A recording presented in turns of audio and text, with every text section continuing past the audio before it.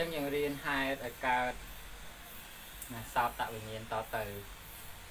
សូមនមស្ការក្រាបថ្វាយបង្គំចំពោះព្រះរតនត្រ័យគឺព្រះពុទ្ធធម៌និងព្រះសង្ឃដែលស្រីគ្រប់ព្រះស្លាសូមនមស្ការចំពោះកណ្ណាគ្រប់ព្រះអង្គនិងលោកជាលោកតាពុទ្ធបរិស័ទទាំងអស់ដែលបានចូលរួមសិក្សាហើយប្រាប់ធម្មពេលសូមអនុមោទនាចឹងនៅក្នុងថ្ងៃនេះលើកយកនៅហេតុ ដែលនាំឲ្យកើតសោតវិញ្ញាណយើងបានសិក្សាហើយក្នុងមេរៀនមុនគឺហេតុឲ្យកើតចក្ខុវិញ្ញាណអញ្ចឹងហេតុឲ្យកើតសោតវិញ្ញាណនេះក៏មានន័យសេចក្តីណាប្រហាក់ប្រហែលគ្នាដែរយើងបានយល់មួយក៏ដូចជាបានយល់ណាស្ទើរតែទាំងអស់តាំងពីចក្ខុរហូតដល់កាយ រហូតដល់មโนទៀតបាទប៉ុន្តែក៏យើងត្រូវតែសិក្សាណាបន្តទៀតដើម្បីណាយើងយល់ដឹងបន្ថែមណាមេរៀនចាស់ផងនិងហេតុថ្មីដែលខុសគ្នាមិនដូចគ្នាណាណាមានចំណុចដែលមិនដូចគ្នាចឹងគឺហេតុទី1ណាអសម្ភិនតា សោតតសៈណាសោតតប្រសាទមិនតន់បែកធ្លាយយើងកាលពីមុនគឺថាចក្ខុមិនតន់បែកធ្លាយណាឥឡូវនេះគឺសោតតហ្នឹងមិនតន់បែកធ្លាយណាกระดาษជាយើងហ្នឹងគឺនៅល្អនៅអាចដើម្បីថាទទួលសម្លេងបានណាដែលអ្នកដែលបែកធ្លាយគឺអ្នកដែលថ្លង់ណាគឺអ្នកថ្លង់ហ្នឹងឯងគឺអ្នកបែកធ្លាយហ៎ ទោះបីជាសម្លេងហ្នឹងពីក្រៅទៅណាយ៉ាងណាក៏មិនលឺដែរតែអ្នកខ្លះគឺហៅគេហៅថាធ្ងន់ត្រចៀកគឺតលតែនិយាយធ្ងន់ធ្ងន់បន្តិចបានគាត់លឺហ្នឹងគឺមកពីណាត្រចៀកហ្នឹងវាវាខូចខ្លះវានៅខ្លះអញ្ចឹងណាដូចភ្នែកដែលស្វាំងអញ្ចឹងឃើញខ្លះមិនឃើញខ្លះអញ្ចឹងទៅឬក៏ឃើញបានតែចិត្តចិត្តអញ្ចឹងទៅអញ្ចឹងយ៉ាងណាគឺ ហេតុទី1នេះគឺអសម្ភិនតាសោតតសៈគឺសោតតប្រសាទហ្នឹងមិនតន់បែកធ្លាយជាហេតុទី1ទី2អាបាថកតតាសត្ទានំណាគឺថាសំលេងមកកាន់កន្លងលើកមុនគឺរូបារម្មណ៍មកកាន់កន្លង តែឥឡូវនេះគឺសំលេងមកកាន់កន្លងសំលេងឆ្ងាយសំលេងចិត្តអីក៏ដោយសំខាន់គឺ ដែលយើងឮបានហ្នឹងគឺមកពីសំឡេងហ្នឹងមកនៅមកកាន់កន្លងណាត្រចៀករបស់យើងណាចឹងគឺជាហេតុទី2ហេតុទី3នោះណាអាកាសៈសន្និសិតាំងណាអាស្រ័យអាកាសអត់មានអាស្រ័យពន្លឺទេចក្ខុវិញ្ញាណគឺថាអាស្រ័យពន្លឺតែ ចំពោះសោតវិញ្ញាណនេះវិញគឺអាស្រ័យអាកាសណាបើទីកន្លែងឯងបិទចិត្តបិទចិត្តឆឹងហប់យើងមិនអាចឮបានទេឬក៏ថាយើងនៅក្នុងបន្ទប់យើងមិនអាចឮសំឡេងពីក្រៅមកបានទេណាអញ្ចឹងគឺអាស្រ័យអាកាសដែលលំហហ្នឹងគឺអាចដើម្បីណាជាបច្ច័យឲ្យសោតវិញ្ញាណឯងអាចដើម្បីឮបាន ណាទី4គឺមនសិការៈហេតុកាំងគឺអាស្រ័យមនសិការៈជាហេតុចិត្តណាដូចគ្នានឹងបានបញ្យល់ហើយក្នុងណាចក្ខុវិញ្ញាណនោះគឺមនសិការៈគឺបញ្ញទ្វីរាវចនៈដែលជាអហេតុកកិរិយាទី1នឹងឯងណាកើតឡើងរាវរក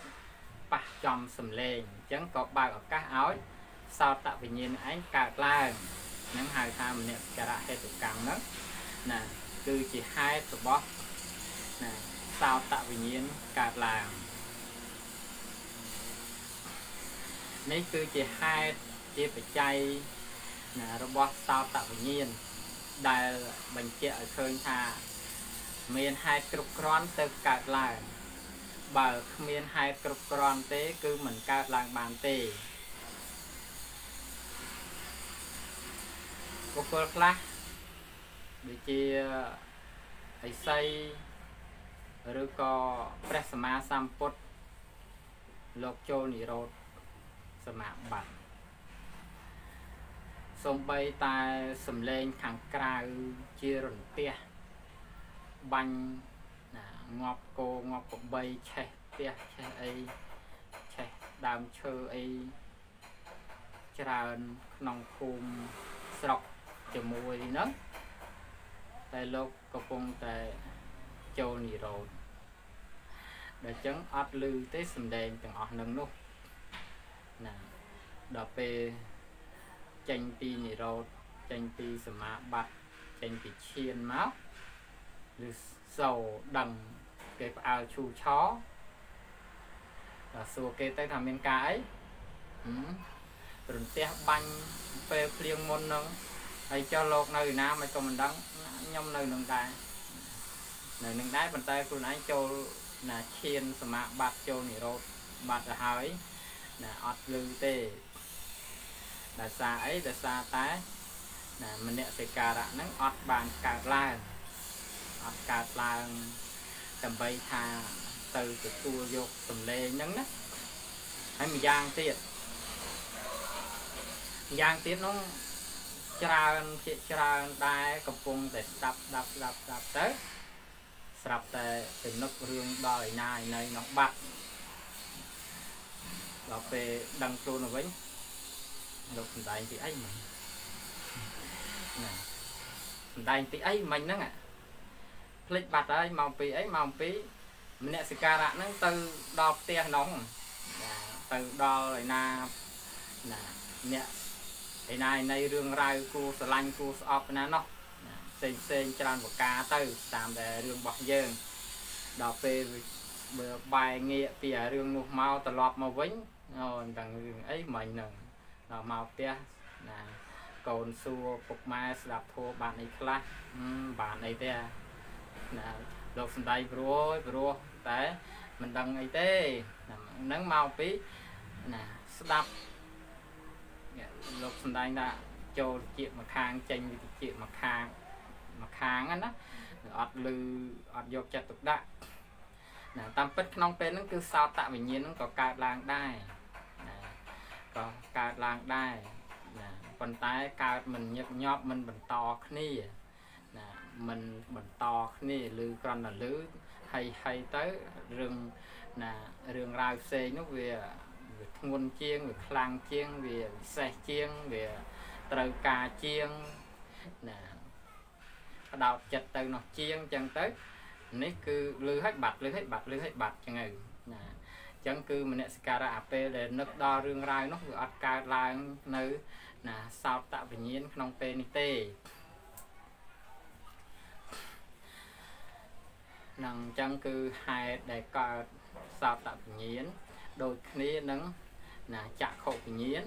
ណាយើងរៀនចក្ខុវិញ្ញាណច្បាស់ហើយមករៀនសោតវិញ្ញាណទៀតគឺកាន់តែច្បាស់ណាទៅវិញទៅមកគឺថាទាំងពីរហ្នឹងតែម្ដងអញ្ចឹងសោចក្ខុវិញ្ញាណគឺភ្នែកមិនតាន់បែកធ្លាយយ៉ាងណាគឺនៅក្នុងសោតវិញ្ញាណនេះគឺត្រចៀកមិនតាន់បែកធ្លាយអញ្ចឹងគឺថាមិនមែនជាបុគ្គលប្លង់ទេណាប៉ុន្តែបើមានត្រឹមតែប៉ុណ្ណឹង ក៏មិនអាចថាឮសំឡេងឬក៏ភ្នែកឃើញរូបដែរដូចជាយើងដេកលក់ឧទាហរណ៍អញ្ចឹងពេលយើងដេកលក់មានមានឃើញរូបអីទេ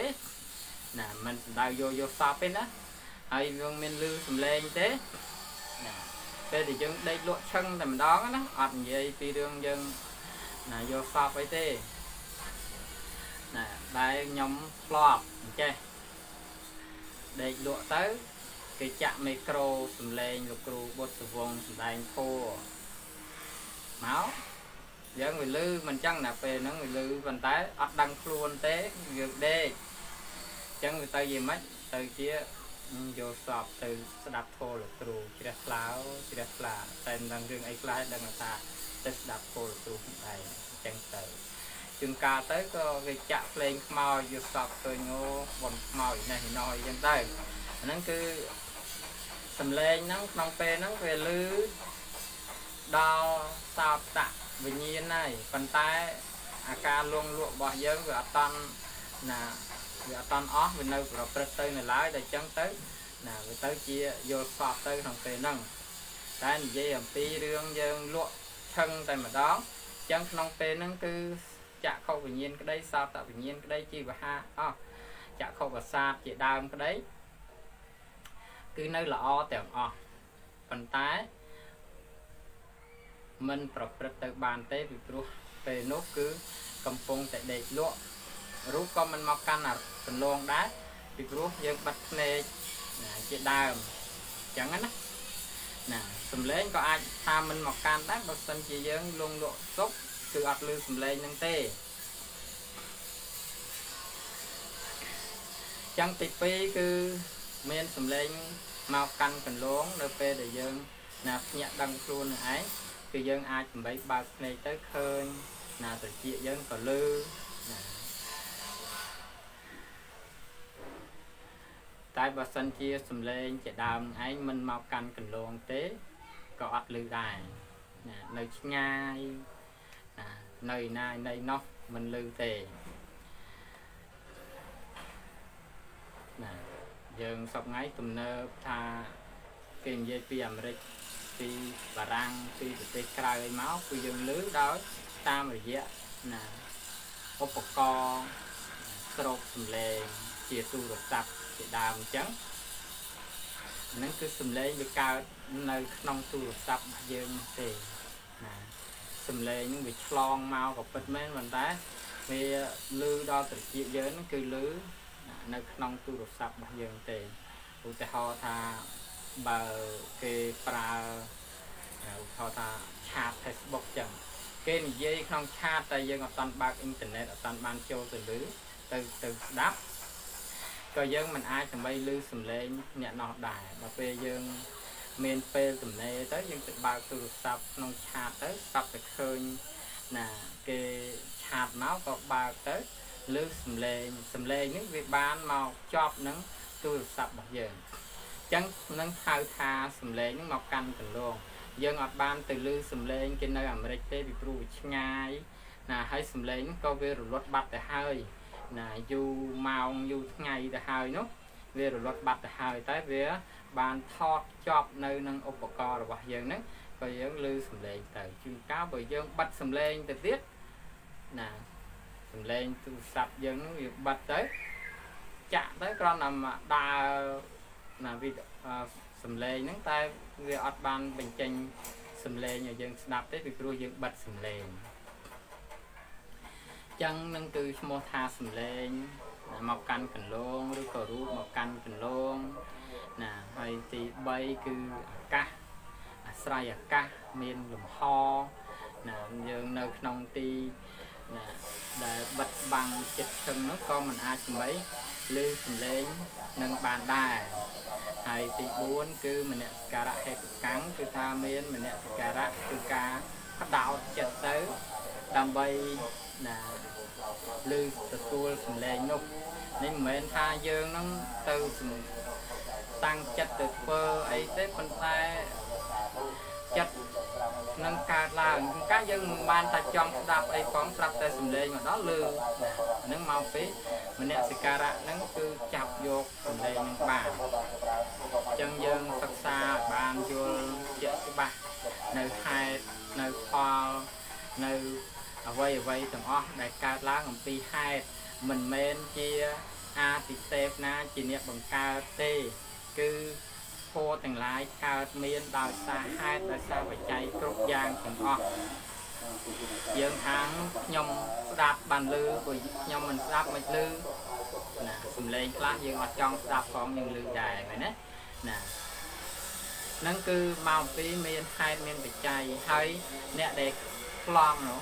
ចង់ស្ដាប់ដែរតាតែมันអាចដើម្បីធ្វើម៉េចឲ្យលឺបានទេមកពី มันមានហេតុនៃណាសោតវិញ្ញាណនឹងកើតឡើងអញ្ចឹងសោតវិញ្ញាណកើតឡើងគឺអាស្រ័យមានសោតប្រសាទជាទីតាំងมันអាចទៅអាស្រ័យនឹងភ្នែកมันអាចនឹងទៅអាស្រ័យនឹងច្រមុះជាដើមទេ ចឹងកំណើតជាមនុស្សយើងហ្នឹងគឺសម្រេចបានដោយបុណ្យកុសលរៀបចំមកឲ្យយើងកើតជាមនុស្សមានតិចជាមនុស្ស ណាបើសិនជាបាបកម្មឲ្យផលទៅទៅកើតជាសត្វតិរិឆានជាដើមណាត្រជាហ្នឹងក៏ជាតិរិឆានទៅណាស្ដាប់ឮតែសំឡេងតែអត់មានអត្តន័យនិយមន័យអីច្បាស់លាស់ដូចជាមនុស្សយើងទេមនុស្សយើងគឺថាអាចដើម្បីមានបញ្ញាមានខួរក្បាលនឹងល្អយល់អត្តន័យយល់សេចក្តីដែល ណារៀបរាប់ដែងទៅបានសត្វតិរិឆានអាចយល់ខ្លះដែរប៉ុន្តែវាតិចតួចវាតិចណាវាមិនល្អដូចមនុស្សទេដូច្នេះយើងត្រូវយល់ថាកំណើតមនុស្សគឺកើតដោយបុណ្យគឺយើងត្រូវតែសាងបុណ្យឲ្យបានណាជាទីសង្ឃឹមជាទីពឹងដ៏ល្អរបស់យើង ដើម្បីរចនាជីវិតរបស់យើងឲ្យកាន់តែប្រសើរឡើងប្រសើរឡើង សូមអនុមោទនាសូមប្រគេនជូនបុណ្យកុសលដល់ប្រសាទពិសេសទាំងអស់បានសេចក្តីសុខសេចក្តីចម្រើនមានបញ្ញាស្នាប់ក្នុងវេសូមអនុមោទនា